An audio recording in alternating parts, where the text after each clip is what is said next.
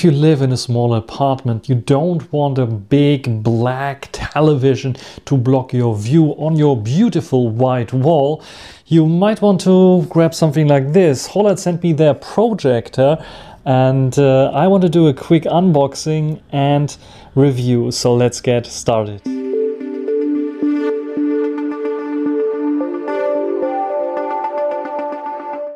So what comes in the box is a pretty large box, as you can see here, Horlat home theater projector, and uh, the device itself there.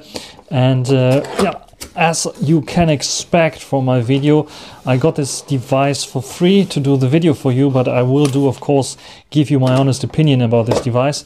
And first of all, we have this large kind of a box.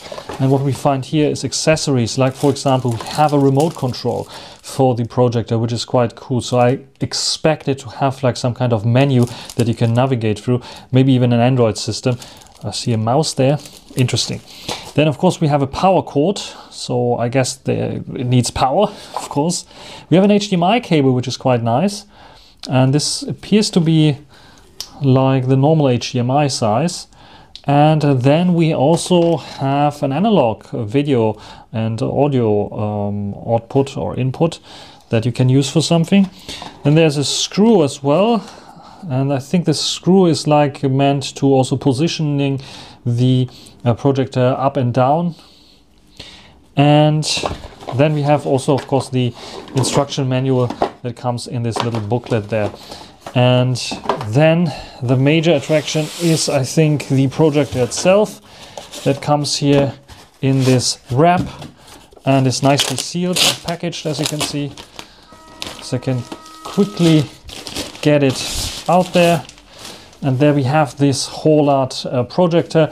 As you can see on the top, we have uh, all the buttons and controls that you need. So if the remote control runs out of batteries, there are no batteries included, by the way, then you can use, of course, the touch uh, elements here. It's not real buttons, it's touch elements there.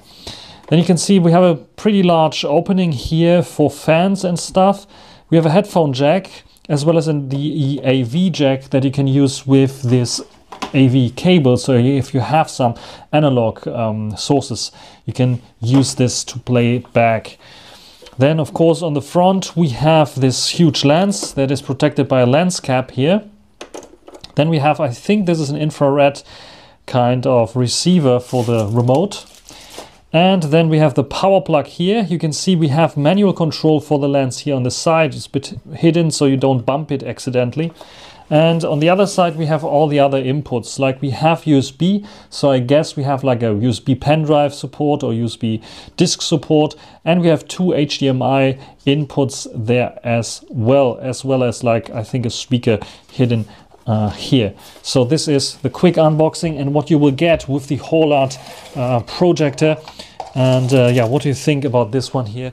So this is the projector now running. Yeah, I know you shouldn't put it on the bed, but it is running here as you see. And uh, let's check out its um, yeah projected kind of image. There's Timmy again.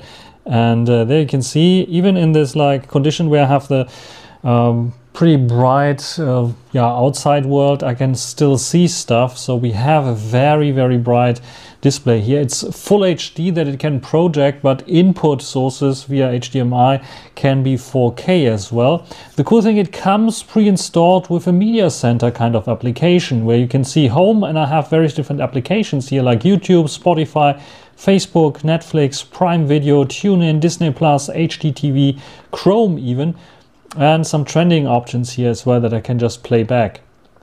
The cool thing is we have further apps that we can install like third-party apps. As this operating system that is running here on the projector is based on Android, we have Miracast option to just simply use your smartphone to cast something on the device.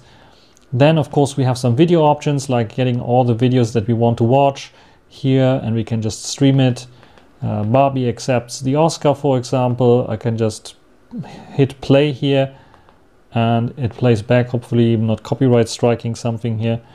It's just a demonstration. You can see it's loading up YouTube. It's the YouTube app there.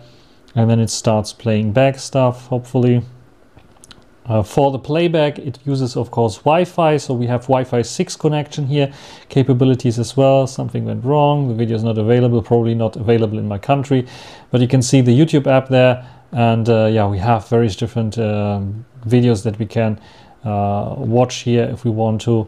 And uh, Mr. Bean, for example, or some other things here, the Pink Panther. Hopefully this will not uh, have some issues. You can see we have also you hear probably the loudspeaker there.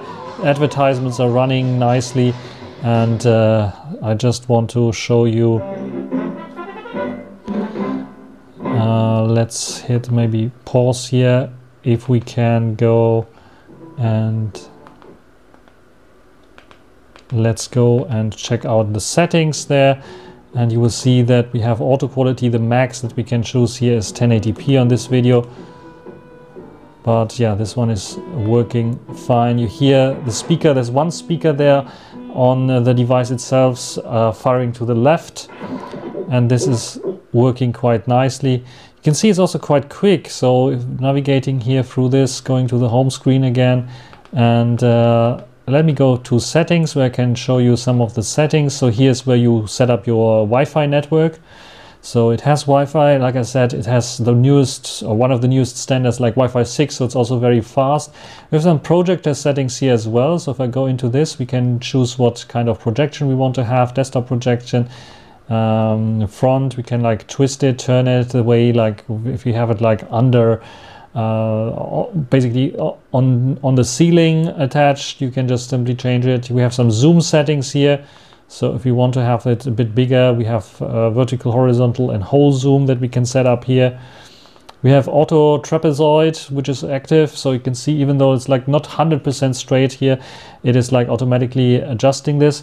And of course we have the adjusting wheel. You can see if I adjust it, it goes out of, um, out of focus there, but I can adjust it. I have to adjust it manually to be in focus so there's not an automatic uh, focus uh, adjustment there it's a manual one but I like this I prefer this anyway because the automatic ones can sometimes fail so um, having it uh, manually is good. We have the input sources that we can choose. So if I click here, you see on the right USB. So we, yes, USB thumb drive is supported, HDMI 1, 2, and the um, AV analog support. Then we have a media center here. So this allows us to take a look at pictures, audio, videos, and something that is on the thumb drive. Uh, very useful. We have the software update here, and I checked already October 2023, it looks like. October 30th, 2023 is the latest version that I have here on this projector. We have memory cleanup, uh, which allows us to clean up memory, probably for applications, downloads, and stuff. You can see there you have YouTube and Google Play Store. So yes, it is based on Google's Android system. I can clean stuff up. You can see also how much memory we have here. 568 uh, megabytes of uh, roughly um, 1000 uh, used, which is quite interesting. So we have a terabyte of space here, if I'm not mistaken. Uh, a gigabyte of space, not a terabyte, a gigabyte of space. Um, we have some other options here which gives me, brings me to another settings level. I'm not sure. You can also set up the network and internet, date and time, and device preferences. If I go in here, we have uh, again the language that we can choose, the boot mode that we can choose. So we have the possibility to boot on standby or boot on startup, which um, probably has something to do with the uh, power saving mode there. Then we have the apps again. We can choose our apps there. And what I wanted to do, for example, what I found a bit weird is like the YouTube app, for example, has the possibility to have like uh, um, permissions like for microphone, but apparently the permissions for microphone is not granted because there is on this remote control here on the top, I'm not sure if you can see it there between the power button and the source selector, there's a microphone input. And uh, yeah, I think microphone is set up here correctly. I can turn it off and on. So yeah, should work correctly. And yeah, we can turn on uh, notifications and have all the uh, the, the, the, Android uh, stuff uh, to clean up things if we want to. Then we have keyboard settings, which is also quite nice. So we can set our keyboard. There's a virtual keyboard. This is the AOSP or Android keyboard that we can use there. And we can set up other keyboards there. Sound settings are also available, like system sounds enabled or not, and surround sound uh, possibilities. So we can use this uh, according to the source format we have, or we can say never use surround sound or manually select it. Quite cool. There's a timer option, which is also interesting. So power off at a specific time, for example. So we can set up here once every day or work day. Especially useful if you use this projector, for example, for work uh, in a special room or something like this. Security and restrictions. This allows us to install applications from unknown sources here as well. This is also an Android feature there. Local update is also possible, and we have some accessibility features there as well, like high contrast that we can turn on text to speech or accessibility shortcuts and we can reset the whole device if it's necessary. Under about, we will see that this is, yeah, the device name is Projector. Android version is 9.0. I think it's still okay, um, but uh, a higher version would be definitely better. You can see the device space, it says is 8 gigs and the memory is 1 gig. So we have 1 gigabyte of RAM and actually device space is 8, should be 8 gigs here inside. Uh, quite interesting. You can see also the software version is like really from October uh, 2023. And let's go back to the home uh, page. Uh, here again, the settings here. We have also Bluetooth support. I went into the search. I didn't want to there. But if I go to settings here, there's also the possibility to set up Bluetooth devices. So we can add uh, Bluetooth headphones or accessories, like for example, a keyboard. You can either attach it via the USB um, uh, cable there. Maybe a USB dongle is also working. I will try it out in a second. Uh, and you can use, of course, Bluetooth uh, for headphones or such things as well, or Bluetooth keyboards as well. Yeah, playback music there, stuff. We have apps as well, and we have also an app store. So if you want to have more applications, you can go to the app store here. And let me click app store. And it's uh, starting up. I think it's their own app store, as you can see that is booting up here and uh, because I think Android 9 is not supported anymore officially by Google I'm not so sure about this but we have a few apps here. So this is our home screen. So featured apps of course some of them are installed already. Netflix for example there's like TED for TED Talks. Twitter you can even install if you want to. TuneIn Radio Twitch if you need it Deezer HBO Max YouTube Music Disney Plus Prime Video. So everything that you want to have is available here. SoundCloud, there's even ES File Explorer, Chrome you can install or Fastcast. Uh, most popular are this year. I don't even know most of them. Yandex Music I heard about. So some known brands, known most yeah used ones definitely for such a project are, are available here. And even Google Play Store is here as, an installed app. So maybe you can go even into the Google Play Store. Let me do it. Mm, what happens when I, yeah, and I can sign into the Google Play Store and then have all Play Store apps probably as well there, which is also quite interesting. We have some apps that are updated like YouTube and WPS Office. So we can uh, say cancel. Yeah, we want to update. Ah, they're updating now in the background. As you can see here, this is how it works. WPS Office is also there if you need some Office documents. You can see you can do your work. It's like a completely Android station that you have there. And if you touch mouse and keyboard, you can really do your work there. Of course, you don't have like a real Office kind of uh, app, but at least this is possible there. Under My Apps, we have like the upgrade option, which allows us to see, check for upgrades there, the latest version of the store itself, clean the cache if you want to. And uh, yeah, those are the possibilities. We have different categories there as well, like uh, video, news, music, sports, games. So there are even games available here. So if you want to uh, play some casual games here, you have the possibility to do this on your projector as well. So plenty of features here in this project. I really like this uh, coming with shipping with a real operating system there. That allows us to do various things. There's also like the possibility to see our weather here, connect to Wi-Fi, our time there as well. Time I think we have to correct there a little bit because it's like not six in the morning here right now. And uh, yeah, pretty nice. Let's check out uh, some real video. So let's check out a video of mine from YouTube so I don't get any copyright strikes. One of the latest videos that I have here is this uh, Huawei Mate 60. You can see there's also a bit of advertisement going on. Of course, the advertisement looks nice and good. As you can see uh, from the quality here, I can mute it if I don't want it to be too loud, distracting. And uh, then let's see how it looks like playing back the video itself. On my update video on the You can see it's pretty loud. Version 4.0.162 in the changelog, there was only written camera improvements for photos in certain scenarios and security patches of February 2020. So it can get pretty loud, as you might heard in the background, and it's uh, over 60%. I think it getting a little bit of like shouty there. And uh, let's check out the uh, quality because I know that this video is done in 4K. If I can choose 4K here, no, the max is really 1080p because the projector only allows 1080p, so it's not doing like downscaling or something like this. So 1080p, but 1080p is fine as well. So we have the whole YouTube app playing back here. I can just uh, let it play further. Let me figure out how the controls work because there's no play button here on on this controller i think if a play button would be here i think it would be a bit easier than to play pause but there's only the ok button so you have to like go i think up up and then hit ok for the playback uh, i'm not so sure I just hit here on the timeline, okay, and then it's starting playing playing back stuff. How do I hide the? There you go, and you can see it's pretty bright, even in like I said daylight conditions. Also the sharpness I really like for this projector, and you can imagine like I have it very close to the wall now. Uh, it's working quite nicely without any issues. Very fluid as well. Uh, wonder if it plays back also um, uh, 1080p uh, 60 frames per second. Let me check that out. So this is a demo video about Denmark. I've muted the sound here. And uh, let me check out the suggestions. Let me check out if I can set up here 60 FPS. It's like even 8K 60 FPS.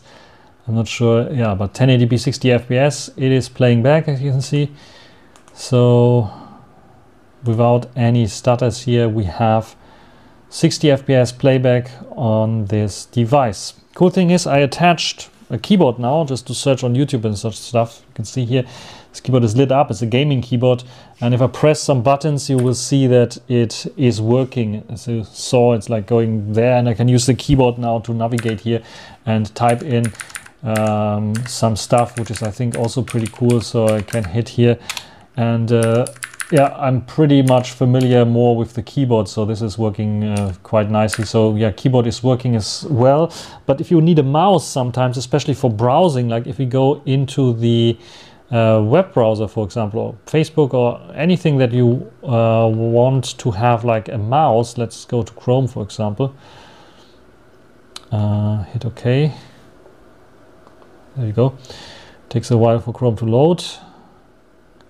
Ah, it's not even installed. This is why. Ah, okay.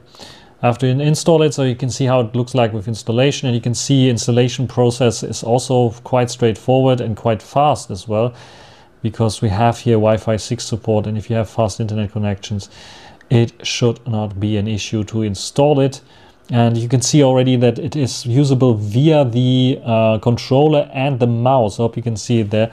Uh, maybe we can zoom in a little bit there. You can see it. There's a mouse symbol and a controller symbol. So that is also pretty nice because it uh, tells you if you can use it with a controller or not. And uh, yeah, let's zoom out again. Uh, let's go to 24. And yeah, we can open it up now. And this is the Chrome browser. And the cool thing here about this, uh, yeah, except Chrome browser here, you can see that in this case, it might be useful to have a mouse maybe. And the cool thing here on the remote control, you have like this mouse button. If I press this mouse button, you will see a mouse will appear and you can use now the navigation keys to move around the mouse on the screen. So if I want to go to a specific website, like for example, Wikipedia, I can do so. And uh, yeah, if I want to type something in, I don't know what I should type in. We were talking about Denmark. Let's type in Denmark. You can see I use my normal keyboard. I can use also the Android virtual keyboard there, but I can use also the um, this one as well. You can see I used I can use the mouse as well to use to navigate to the keyboard here, and uh, the enter key is for some reason not working. So let's do this. There we go. And yeah, I can use this now. And if I go down with the mouse, it's also scrolling very nicely. I can like uh, now inform myself about Denmark, uh, which is uh, a nice addition. All the keyboard shortcuts should work as well. Like Control T it's bringing up a new um, new tab there and I can use control L to type in something like for example if I want to go to neptuneos.com if you're interested in Linux distributions for example this would be the one to go the enter key is not working for some reason so I think they remapped the enter key for some reason so I have to like always go onto the uh, virtual keyboard and hit go there but uh, otherwise pretty good, a pretty solid way to navigate here also with an external keyboard. And this will pretty much work also with the mouse and keyboard if you have like an USB dongle attached to the device.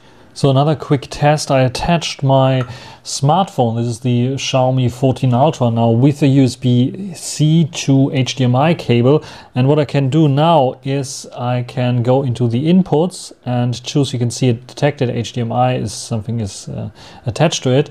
And press OK. And you can see I am now in my game here. It's also playing music, so it's also getting the music via the phone.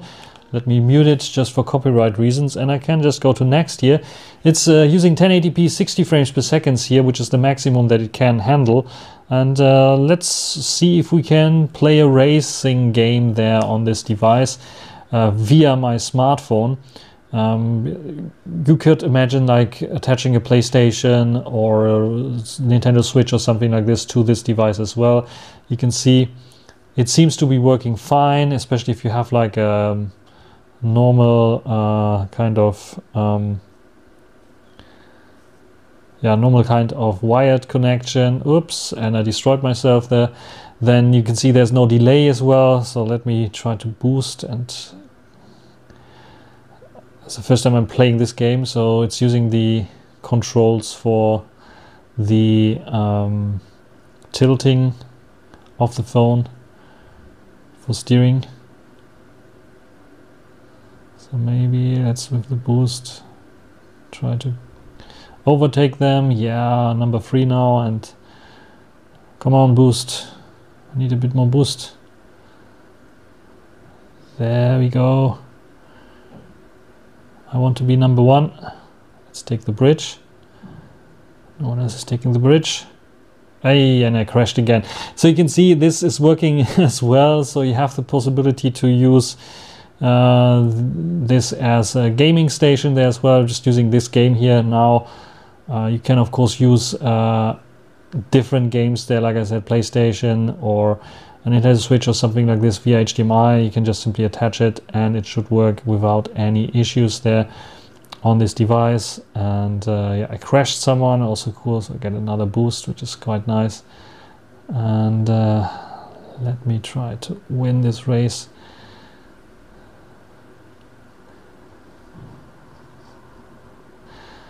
one guy to overtake still Come on. I'm a bit too fast, I think. Uh, because I don't know how to brake. This is why probably second space. Second place, doesn't matter. Also pretty good. So yeah, this is the possibility how you can also play games with the projector. You can see it's pretty sharp, it's pretty fast, and no issues there at all. Also, I think for in terms of sound, it produces loud and clear sound, which is also very nice. How about office work? So I have attached my notebook here, my Asus ZenBook with HDMI control. You can see the HDMI cable going then directly to the projector. And what we will get is also, I think, a pretty sharp and clear image without big problems. So what I can show you right now is, for example, like uh, what it would look like when you are performing some work or such things. So I'm in the browser here right now. I could just try to read some text here or there work and you can see that it's quite clear crystal clear actually bright enough and it's sharp enough. And if it's not sharp enough what you can do is like of course tweak the sharpness a little bit with the uh, included uh, possibility to do it manually. Now I have very very sharp text. I can read everything that is uh, written there. The new Vivo X Fold 3 series for example quite interesting there. Will be announced on the 26th of March so I can read everything, copy and paste everything. It's nice and sharp, the display. It's really full HD, so it's not like 720p only. It is full HD and you can really work with this one. Uh, maybe we can tweak some settings. Let me check if I can tweak some picture settings there as well. Like I can set the picture mode instead of standard to vivid, which will change stuff, to a bit softer, which I think is uh, helping with the sharpness actually. Uh, or I can just manually change to whatever I like to have here, which is also quite nice. So yeah, uh, I think the standard think the soft works best here for for um, projecting my laptop screen, for example, which is not too over sharpened. Uh, and yeah, what do we have here more? Like the display mode, we can choose instead of 16 by 9, 4 by 3, and we have some advanced picture settings, like we can set the color temperature, the noise reduction, and so on. On this, we can even set the game mode enabled. I should have set this or talked about the game mode earlier, so for a little bit faster action there. Uh, this one helps as well to reduce blur and such things. And then we have some sound options there. So we have sound mode, of course, the standard one, news, music, movies, optimized for sports, user, or using the standard one surround options like we have uh, SVS 3D, DBX, and DBX2.